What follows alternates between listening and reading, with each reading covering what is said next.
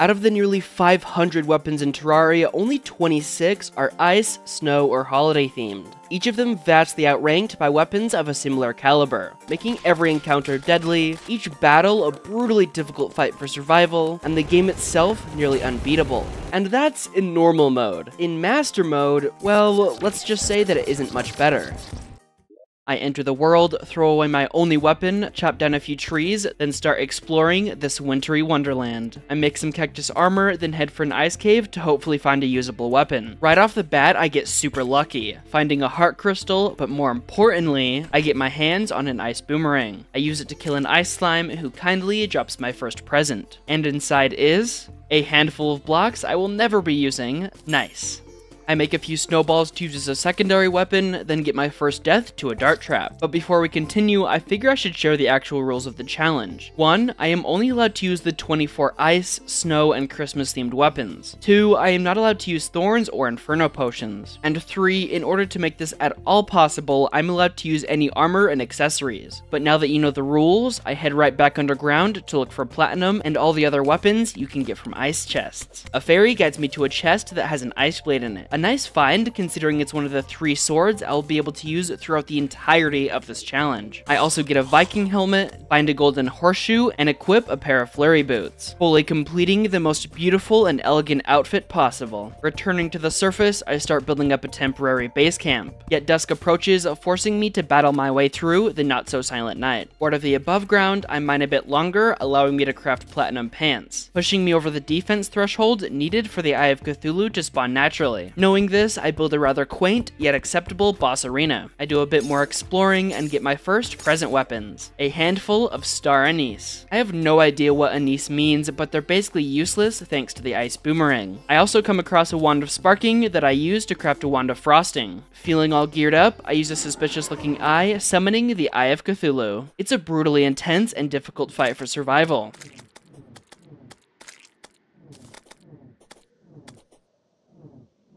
But in the end, the Eye of Cthulhu is defeated, and drops my least favorite accessory in all of Terraria, the Shield of Cthulhu. I love the dashing ability it provides, but hate that it gives the player knockback even with a Cobalt Shield equipped. And despite my hatred of that feature, I do still view it as a must-have for any playthrough. Knowing that I'm not nearly kitted out enough to face the Eater, I once again return to the Ice Caves, where I find an Ice Mirror and a trap chest I totally didn't fall for by the way, but more importantly, I find the Snowball Cannon, which is by far the best pre-hard mode holiday weapon. I forge a platinum chest piece, and tired of mining, begin excavating an Eater of Worlds arena. I add a few platforms, and hoping I'm ready, smash a third Shadow Orb. The Eater awakens, and I know instantly that the arena is way too small for the worm's immense length. I manage to break it into several pieces, but get mauled and die with the worms still flaunting their remaining 12,000 health. Because my defeat was solely the improperly sized arena's fault, I nearly double it in size. And after finishing off my set of platinum armor, I summon the Eater once again. The fight starts off pretty good, but as it divides, things get a bit more dicey.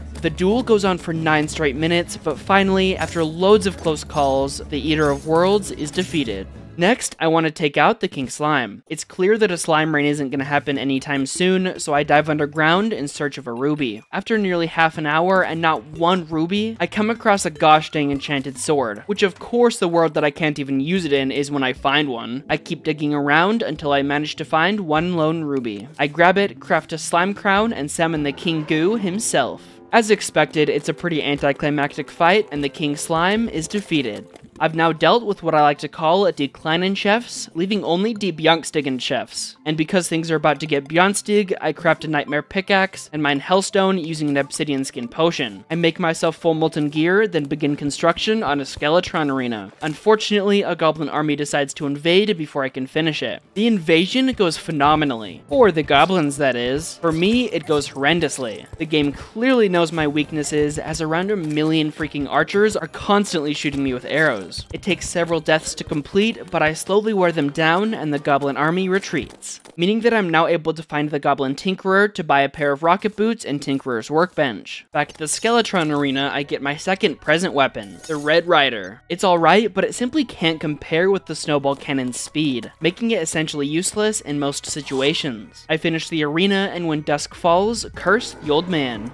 I tend to either bomb or cruise through Skeletron fights. Luckily, I've started to get the patterns down, and the fight goes pretty well. Now, it does take forever due to the pre-boss nature of every single pre-hard mode holiday weapon, but in the end, Skeletron is defeated. I grab a Cobalt Shield from the newly opened dungeon, then head directly into the underground jungle to start a Queen Bee arena. I locate a hive, and being extremely careful not to break the larva, immediately break the larva. Well, I'm screwed because I literally have no preparations whatsoever. No floor, no potions, no bitches, nothing. Yet by hopping between the two tiny platforms, I slowly whittle away at the queen's health. In return, she consistently lowers my HP, and after 10 minutes of pure insanity, she finally does me in. But I've gotta say, I am mad proud of myself for lasting that long in the first place, and for getting her majesty that low given the circumstances. Still in the jungle, I mine out a proper arena without the fear of breaking a larva. It takes a while, but once complete, I awaken the queen bee yet again. The first few minutes are no problem, but my iron skin potion soon runs out, and dashing with bees around is rough. Then, to make my situation even worse, I completely run out of snowballs. But honestly, after our last fight, this isn't too bad, and the queen bee is defeated. And what's my reward for enduring that terribly long and annoying fight, you ask? A bunch of crap I can't even use. In the snow biome, I flatten a small area, equipped a pair of hand warmers I got from a present, and summon the Deerclops. The DC has always been an easy fight, but having hand warmers makes it that much easier. And with that, the Deerclops is defeated. The Wall of Flesh is up next, but I want to have things a bit more organized before entering hard mode. So I build a cozy winter-themed NPC village and home base in the snow, after getting a legendary candy cane sword from a present that is. But with one of my favorite builds of mine complete, I mine out a Elevator and start on what I will soon find to be one of the hardest, longest, and most annoying parts of the entire challenge. Building the Hell Bridge is, well honestly, it's hell. Because every single one of my weapons does such little damage, the underworld enemies take forever to kill, meaning that it feels like I'm fighting more than I'm actually building. It's excruciatingly repetitive work, and after a few hours, I decide to take a break in the form of summoning a demon of flesh and fear, as a test a test to determine whether or not this is even possible given the restrictions. And much to my surprise, it actually goes really well. Oh, wait, no, sorry. I misread my notes. Apparently it actually went terribly. Sorry about that. Snowballs don't pierce, so 9 times out of 10, they don't even hit the wall. And they certainly don't deal even close to enough damage to keep the regenerating hungry at bay for long. I try to figure out a plan, but after a minute or two, I check the map, and seeing the damage to distance traveled ratio, teleport home, ending both me and the test. I respawn, but just sit there as I run through all the possible outcomes of the coming conflict. How many did you see? 14,605. How many did we win? One. And for that one, I need an underground ice farm. I find a good place for it, watch a quick waffle time tutorial, and start excavating. But while I do that, allow me to explain what I like to call Operation Schneeballwerfer. The snowball launcher, despite its similarity in title, is a bit different from the snowball cannon. The launcher is a placeable weapon that rapidly fires snowballs that do way more damage than if I were to use the cannon. Unfortunately, they only have a 1 in 150 chance of dropping from snowflakes, hence the massive farm I just built, which was phase 1 of Operation Schneeballwerfer. Phase 2 involves a lot of AFKing, so I get everything in order and take a quick 15 minute power nap while the game runs in the background.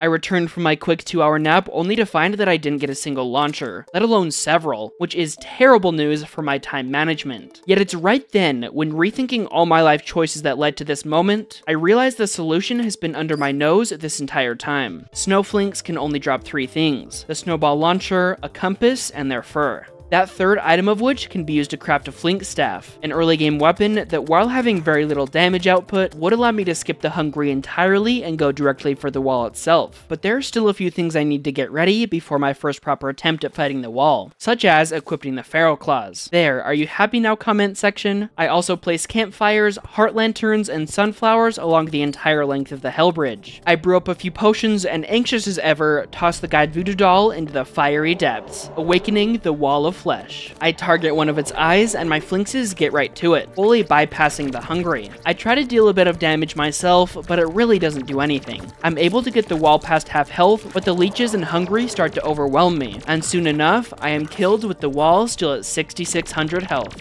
I felt like my damage was decent, but the sheer amount of leeches kept growing until it was impossible to navigate. Yet I know the basic layout of the fight now, so I summon the wall once again. This time I'm able to get it to around a quarter health, but reach the end of the Hell Bridge and get killed at the world's edge. Overall, I would say that attempt 2 was a success, because now I know that damage-wise, this might just be possible. Unfortunately, it also showed for the second time that survival is going to be an equally difficult challenge as dealing enough damage. I expand the bridge to cover nearly the entire span of the world, then, being clean out, I'm forced to collect voodoo dolls. I get three practically back to back, so I toss one in the lava. But after a few minutes of fighting the wall, my audio starts to completely glitch out. Worried it would affect the recording, which it didn't by the way, I pause the game to fix it. And for whatever reason, me fixing an unrelated audio issue crashes the game, setting me back before I started the fight, and before I got those three dolls. So lucky old me gets to farm for dolls yet again! Yay! At long last, I managed to get one and use it to fight the wall for the third and a half time. I make my way through the boring first half, but the sheer amount of leeches makes the fight, well honestly, it makes the fight hell. I keep fighting for survival, but dash into a leech, launching me at the wall and sealing my fate. I die with the wall down to only 422 health remaining. So close and yet so far. Attempt 4 is nearly identical, and I die with the wall at 618, hoping to extend my livableness by shortening the entirety of the fight by increasing my damage output, I make myself a full set of obsidian armor, which increases both the number of links I can have and the damage that they can do. And while this shortens the battle, it doesn't change the outcome of the 5th or the 6th attempts. But then comes attempt number 7.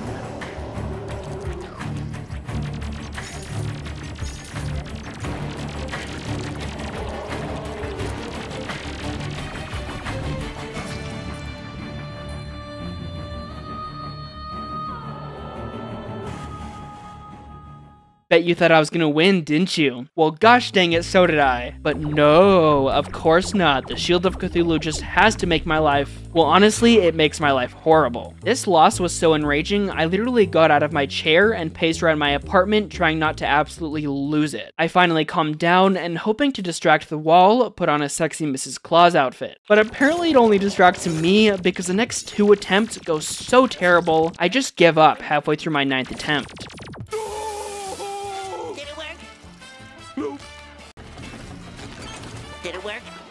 No. Nothing's working! Wait, SpongeBob! We're not cavemen! We have technology!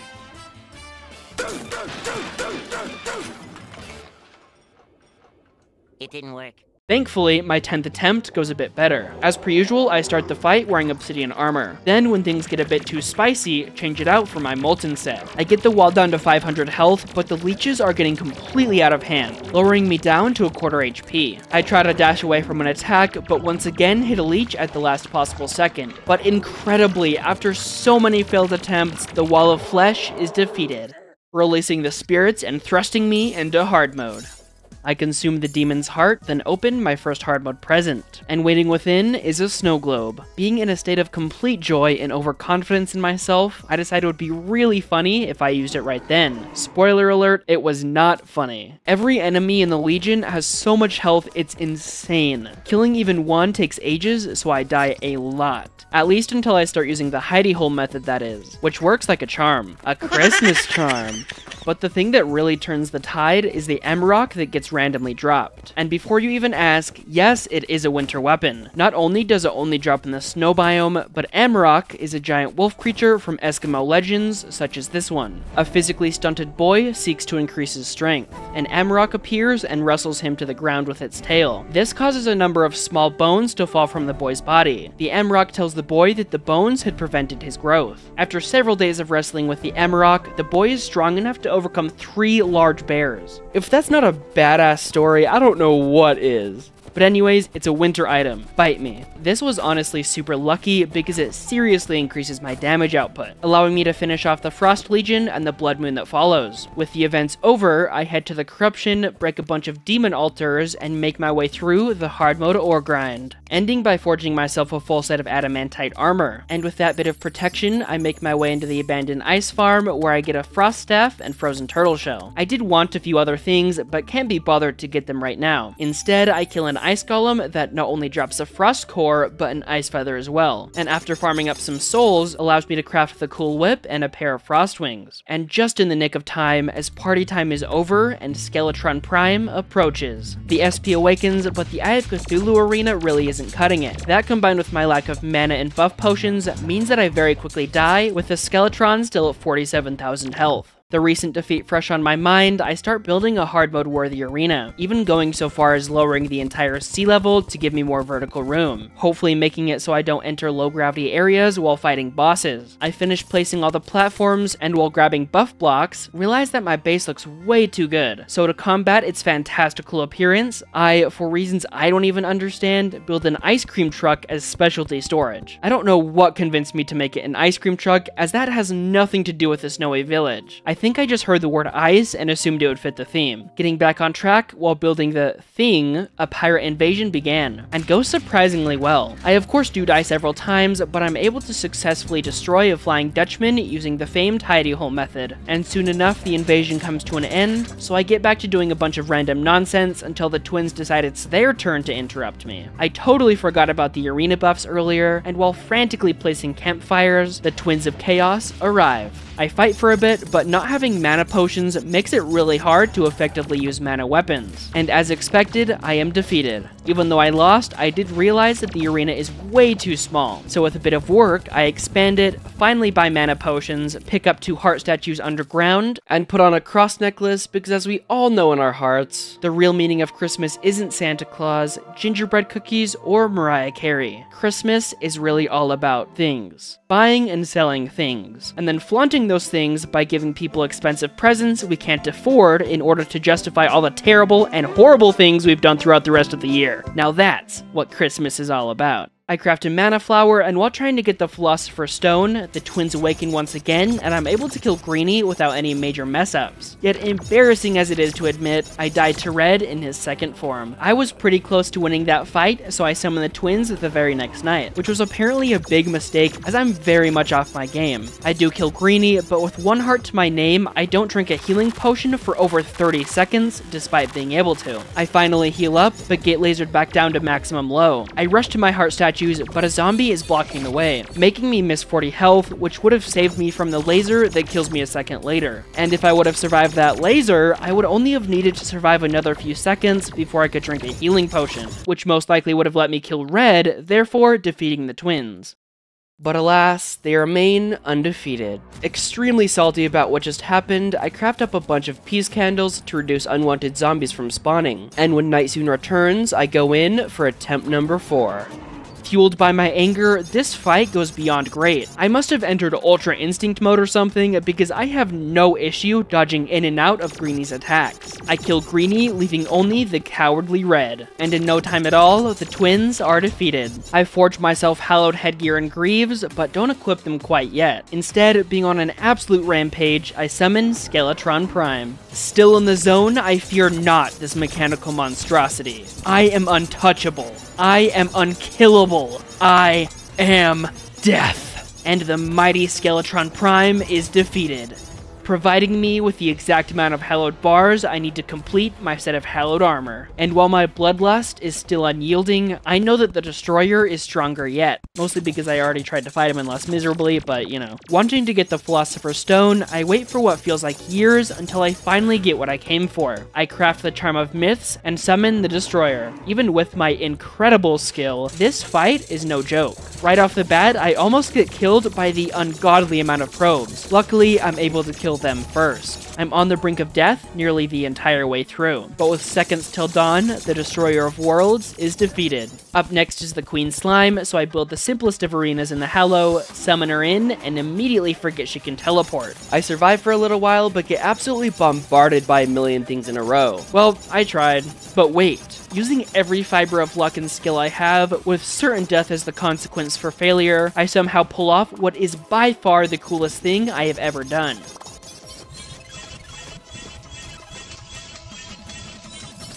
Well, there it is, ladies and gentlemen. I have officially peaked. The battle rages on, knocking me down to basically zero health. And yet, once again, I do the impossible. And soon after, the most intense boss fight I think I've ever experienced is over, and Her Majesty the Queen Slime is defeated. To celebrate my victory, I finally get to mark something off my bucket list. Yet the journey must go on, so I make my way into the jungle, where I find my first life fruit, then start mining out a Plantera arena, complete with luxury NPC housing for easy access, and asphalt for improved speed and mobility. But with that, I destroy Plantera's flower, awakening her, and using my masterful rod and cool whip, I get her into her second phase. And after a series of difficult maneuvers, Plantera, my darling, is defeated. I miss her already, especially with what comes next. Being the fool that I am, I decided pretty early on in this challenge that I would get the Staff of the Frost Hydra since it's an ice-themed weapon and I will likely never have another valid reason to get it. So without further ado, please enjoy an incredibly boring 3 hours of my life condensed into an 8 second time lapse.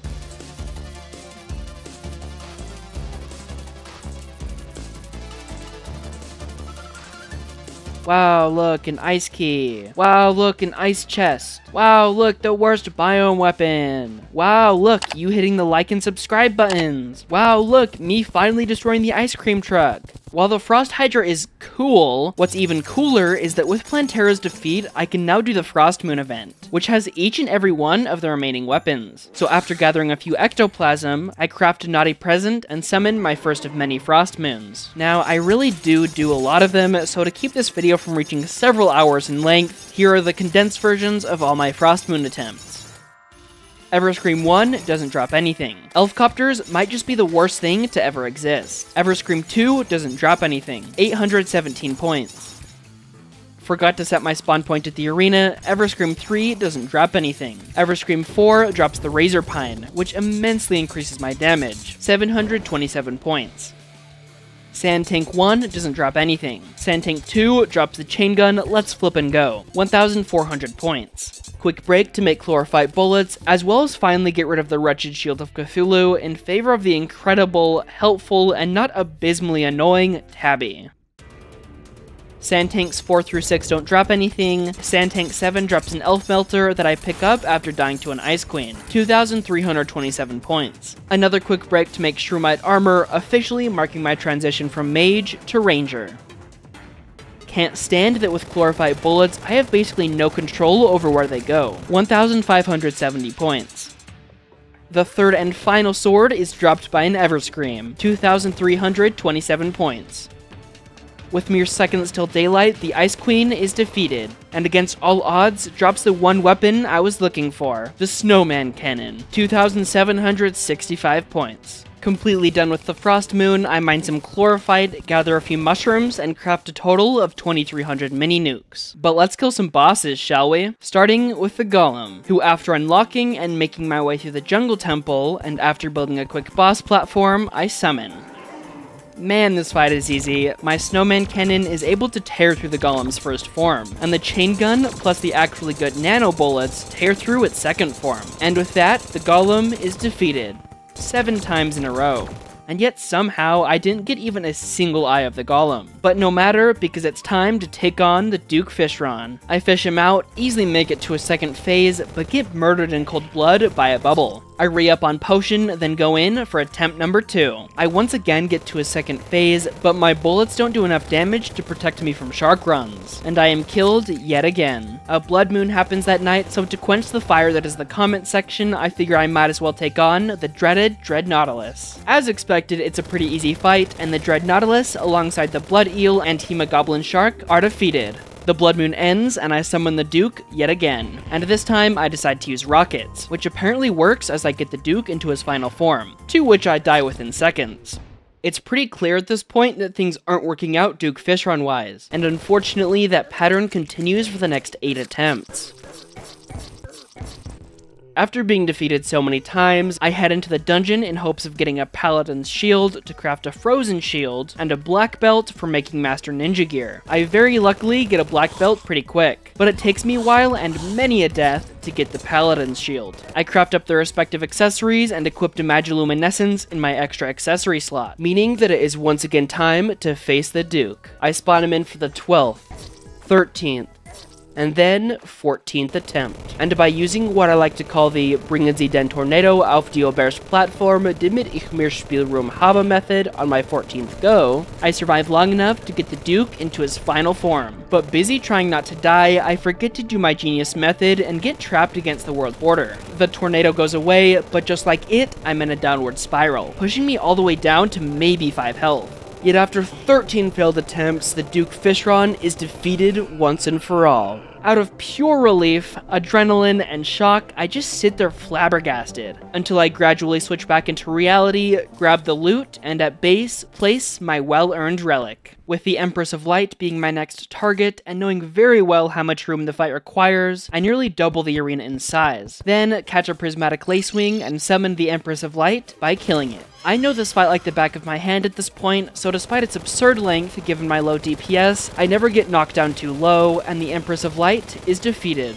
dropping one of my favorite accessories alongside a new set of wings. And while I planned on just relaxing for a bit after taking on two royals, while doing a bit of arena maintenance, a Martian probe swoops down, and much to my dismay, begins the Martian Madness. I usually hate this event with the burning passion of a thousand suns, but for whatever reason, it honestly wasn't bad. I of course did die a decent few times, but I also pulled off killing the second Martian saucer that spawned, so I really can't be too mad. And amazingly, the Martians are soon defeated. A day or two later, and the first solar eclipse of the playthrough happens, and as expected, it's extremely easy with the weapons I have. I die to a few pinheads, kill a few Mothrons, and night soon arrives, ending the eclipse. Figuring I might as well finish off all the events, I craft a pumpkin medallion and summon the pumpkin moon, which is actually perfect timing as I recorded this bit on Halloween. The night is pretty fun, and I'm not only able to defeat a few Mourning Woods and pumpkins, but I also do it all deathless. The night fades to day and rewards me with 2,905 points. But it's time to move on to the final event. I place an Eternia crystal in its pedestal, opening the portals and beginning the invasion. The first wave is a total piece of cake. The second wave requires a bit more effort, but is still easily dealt with. Then comes the third wave, consisting of goblins, javelin throwers, wyverns, kobolds, and Drakins all of which immediately overwhelm me, ensuring the crystal's destruction. Now, there are 7 total waves, and I wasn't even able to make it to wave 3, but of course, I give it another go, which goes nearly the same as before, except I don't die, just the crystal does. I tried a few more times, but ultimately they all go about the same. The furthest I ever made it was to wave 4, and for that reason, I know that this event is completely impossible with the weapons I have at my disposal. I even went as far as getting the rest of the Ice Queen's magic weapons, which took two hours by the way, and trying to defeat it like that, but I was never able to kill a Dark Mage, let alone Betsy. So while I hate to say it, the show must go on, and the Old One's army must remain undefeated. With that complete, I have officially arrived at the endgame. The Lunatic Cultist and the Moonlord himself, the only bosses that remain. And in preparation for the coming chaos, I reforge all my accessories to Menacing, including my already plus 3% damage soaring insignia that cost 14 platinum and 52 gold to get that 1 extra percent of damage. Feeling nervous as ever, I burn the cultists alive, awakening their lunatic leader. And man does this fight end up being a doozy. I do the regular biz for a while, but while trying to kill a stray corruptor, I accidentally hit one of the lunatic's imposter cells, spawning the dreaded phantasmal dragon. Yet thanks to the snowman cannon, let's just say it wasn't a problem. The duel continues, getting me all the way down to 3 hearts, with 15 seconds left until I can heal. I somehow survive, drink a healing potion, and the cultist enters phase 2. For the rest of the fight, I seem to be trapped below half health, but I press on until once again I hit one of the imposters by accident. Yet the poor thing barely gets to see the light of day. A regular wyvern also joins the fight, but is soon taken care of. Rest in peace, O Wyverns 3. May your now joined souls be ever free. After a genuinely scary fight that kept me consistently low, the lunatic cultist is defeated, throwing me directly into the madness called the Solar Pillar. The solar enemies have never bothered me too much, and they're even less deadly with the Skeletron Arena keeping the scrollers at bay. I easily complete the pillar death free, then get absolutely jump scared when the Nebula Pillar is right next to my base. Unlike the Solar Pillar, I don't even have the words to express my deep hatred towards each and every one of the Nebula enemies. They are just all the worst and I die 9 times before I'm able to destroy the pillar itself. Next is the Stardust Pillar, which quickly devolves into chaos. I die four times in total, and it's defeated. I teleport to the Vortex Pillar and get dismantled in seconds. By returning, I'm able to set up the classic 6 block defense, making the rest of the pillar super easy and fast. I get through all the enemies I need to kill, then destroy the pillar, and alongside its destruction, impending doom approaches. I brew up some potions, head to the arena, and ready for battle, the almighty Moonlord awakens. Using both my rockets and chain gun, I take down both of his hands without major injury, but take several devastating hits soon after.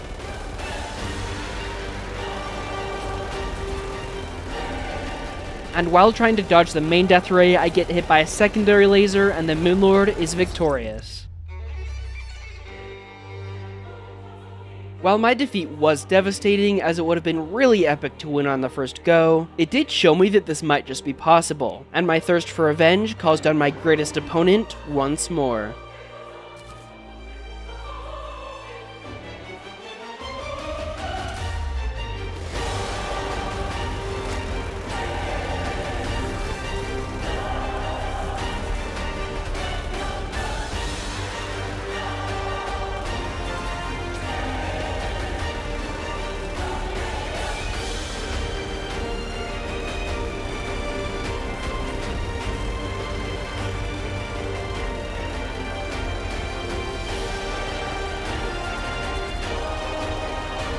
After over 60 hours, countless challenges, and the greatest of triumphs, the once mighty Moonlord and the whole of Terraria are defeated using nothing but the most festive of weapons.